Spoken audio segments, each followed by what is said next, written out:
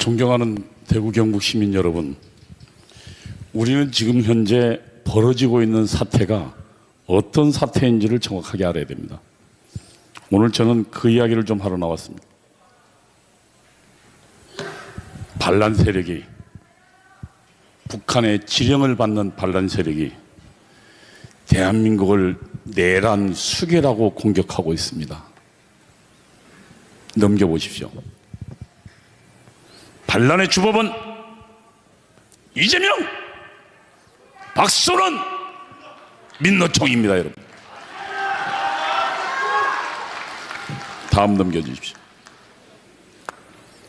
이 이야기는 이미 윤석열 대통령이 시작되자마자 했습니다. 그리고 2022년도에 윤여정이 직접 지시했습니다. 도대체 국민들은 윤석열 저 천치 바보들이 들어앉아서 자꾸만 위태로운 상황을 만들어낸 정권을 왜 그대로 보고 있는지 모를 일이다. 무슨 얘기입니까? 문재인은 자기 정권이었고 윤석열은 자기와 반대하는 정권이니까 탄핵하라고 구체적으로 지시합니다. 2022년도입니다. 들어선 지 얼마 되지도 않았습니다. 이재명은 지금 현재 윤 대통령을 내란 수계라고 공격하고 있습니다. 넘겨보십시오. 다음요. 이게 지금 이재명, 이재명이 한 발언입니다. 국회에서요. 이재명은 윤 대통령을 국가 내란 범죄 수계로 계엄령 선포를 반란 행위이자 친위 쿠데타로 규정했습니다. 여러분, 우리 지금 이 내용에 대해서 이제는 우리는 정확하게 알게 됐습니다. 적어도 우리에게는 대한민국 최고의 헌법학자가 있었습니다. 그리고 그는 이 사태가 벌어지자마자 이렇게 얘기했습니다. 비상계엄은 대통령의 합법적 권한이고 이거는 사법심판이 대상이 되지 않는다. 그리고 내란은 두 가지가 있어야 되는데 국헌 문란도 없고 폭동도 없었다. 누가 지금 내란이고 반란 세력입니까? 북한의 지시를 받고 합법적으로 우리들의 투표에 당선된 대통령의 합법적 권한을 대한민국을 지키고자 하는 그 충정을 반란으로 보는 내란으로 보는 그들이야말로 반란 세력 아닙니까 여러분?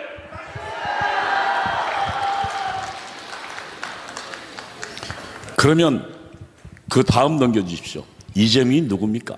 이재명 뒤에는 간첩 민주민주혁명당 이석기가 있습니다. 이석기는 누굽니까? 북한의 간첩 원진우와 만나서 그리고 대한민국을 전복하려고 했던 사람입니다. 이들이 지금 이재명 뒤에 있습니다. 그 다음 넘겨보십시오. 저 사진은 지금 이재명에게 후보를 양보하고 그리고 성남시장이 된 이재명이 성남시장이 되자마자 성남시 인수위원회를 넘기는 과정입니다. 김미희가 누굽니까? 경기 동부연합 이재명 이석기의 후, 부하이자 그 후에 통합진보당 국회의원이 됐던 여자입니다. 이가 지금 성남시 인수위원회를 맡아서 성남의 모든 이권들을 다 이석기 경기 동부연합에 넘겼습니다. 세운 지 3개월도 안 된 회사에 이석기 대학 후배에게 경기 동부연합 간첩 민족민주혁명당 후배에게 후배가 세운 회사에게 청소 영역 전체를 맡겼습니다. 그리고 그 다음 넘겨보십시오. 성남시를 완전히 이석, 이재명을 등이 없고 이석기의 경기 동부연합이 장악했습니다. 한번 보십시오. 대변인, 위원장, 그 다음에 위원들 다 성남시를 장악한 경기 동부연합은 모든 이권 사업을 자신의 손에 넣었습니다. 그 다음 한번 보십시오. 신동아입니다. 성남시장 이재명과 경기 동부연합 한 청년의 기막힌 연결고리라는 기사입니다. 한 청년 일기 의장, 오기 의장, 그 다음에 거기에 다른 사람을 학생을 구타해서 죽인 정희찬까지 전부 이재명 뒤에 있었습니다. 그 다음에 이재명의 뒤에는 이석기가 있었고 그리고 민족민족 혁명당이 있었습니다. 거기에 제가 파란 줄로 해놓은 걸 한번 보십시오. 성남에서는 운동권이면 이게 뭡니까? 경기 동부연합 이석기의 승인이 없이는 아무것도 이권 사업을 할 수가 없었다고 이야기하고 있습니다. 그게 이재명입니다. 그 후에 이재명은 성남시장을 발판으로 경기지사가 되었고 그리고 또 대통령 후보에 나옵니다. 그런데 놀라운 사실은 다음 넘겨보십시오. 충북 동지의 간첩단 사건입니다. 저네 명이 주범이고 대법, 대법 원에서 12년 성을, 형을 언도받았습니다. 그들이 북한에 보낸 통지문을 보십시오. 다음입니다. 여기에 보면 이렇게 되어 있습니다. 대선 후보가 되기 전입니다. 북한 문화교류국에 보낸 통지문입니다. 이 지사가 다시 말하면 이재명 씨가 민주진보 개혁 세력에 다시 말하면 더불어민주당에 대선 후보로 광범위한 대중이 결집될 수 있도록 이게 광범위한 대중이 누굽니까? 개딸을 포함해서 온갖 주사파의 조직들이 이재명 주변에 모일 수 있도록 본사에서 본사가 어디입니까? 북한에서 적극적으로 조치를 취해달라고 요구합니다. 이재명이 대통령 후보가 되고 오늘 지금 여당 대표가 된 것은 누구의 후원 때문입니까? 바로 지지를 받아서 이재명은 대통령 후보가 되었고 여당의 대표가 됐는데 그 이재명이 지금 북한의 지원을 받은 반란 세력이 대한민국 대통령을 내란 숙이라고 공격하는 이 여청원이 없는 상황을 우리가 맞이하고 있는 겁니다. 다음에요.